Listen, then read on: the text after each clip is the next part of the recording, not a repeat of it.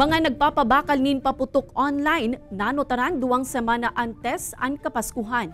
34 paratian danin paputok, tinugutan ng makapagtinda sa Riverside, Canaga City People's Mall. Uyan report ni Chris Novello. Bako na sana sa mga bangketa na babakalaan paputok ning huli sa social media. May mga nag-uprosir naman kaini.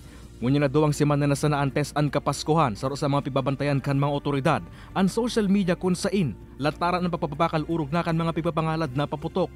Dahil kaya subot na babakalan ni paputok sa mga bangketa kun kaya an ibang seller online ang ginamit na paagi para makapagpabakal kaini.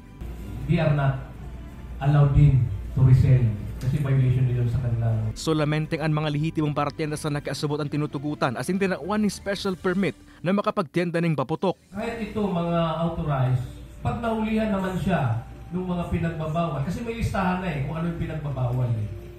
So yun naman ay magiging ground for for revocations. At baka di na siya makakaulit. Mientras tanto, pon sa Desember 23 hasta 31 sana, an itinoo mga aldaw sa mga tinugutang partienda na makatinda ng paputok sa merkado publiko kan siyudad ni Naga. Preparado naman subot ang lugar sa gilid kan Naga River kung sain, taon-taon ini ang bigigibong designadong lugar para sa mga ililatag na paputok. Uh, for the last several years na, 34 lang yan. So dahil may naman na pigdadagdagan yan, ta very limited ang space. Mahigot man subot ang inilatag na seguridad nga ning masyerto na mainin mangyayaring anumang aksidente o kasulo sa nasambitan ng lugar. Kay Baran si Jovel Obiso, Chris Novello, Balitang Bicolandia.